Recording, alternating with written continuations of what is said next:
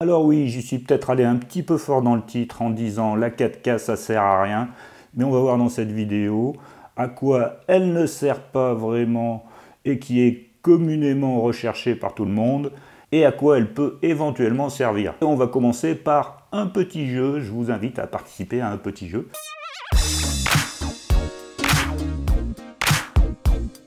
Bonjour et bienvenue sur Pixel Light. Alors commençons par ce petit jeu. J'ai eu récemment un petit incident technique, une petite erreur de manipulation de ma part et j'ai des plans en 4K et pas en 4K. Donc je vous propose de regarder cette vidéo très rapide.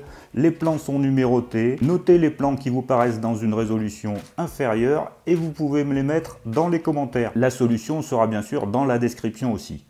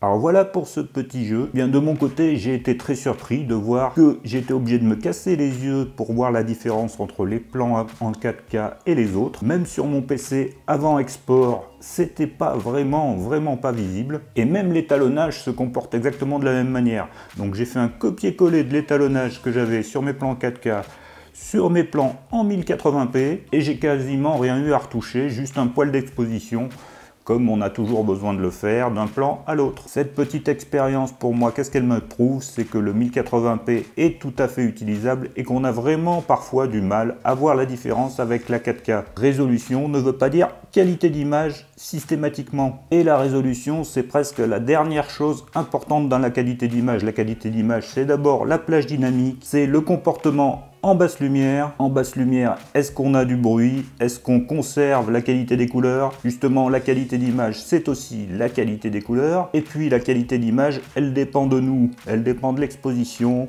elle dépend de la balance des blancs, elle dépend de la mise au point, elle dépend du cadrage, elle dépend de la stabilisation des plans, elle dépend de la qualité des mouvements de caméra. Et elle dépend aussi des choix qu'on a fait sur la profondeur de champ. Et tout ça, ça vient avant la résolution quand on veut obtenir des images de qualité. Donc pour 90% des vidéos qu'on produit aujourd'hui pour Internet, pour les sites web, pour les réseaux sociaux, avoir une résolution 4K, c'est à mon avis un faux problème. Alors si c'est pas pour la qualité d'image, à quoi va servir la 4K La 4K va simplement servir à recadrer si on veut recadrer, à perdre un minimum de qualité lorsqu'on va faire une stabilisation digitale dans le logiciel de montage, à créer éventuellement des faux mouvements de caméra tout en gardant une qualité intéressante. Donc c'est un outil pratique si on a des plans mal stabilisés, si on n'est pas cadré correctement et si on n'a pas pu faire les mouvements de caméra au tournage.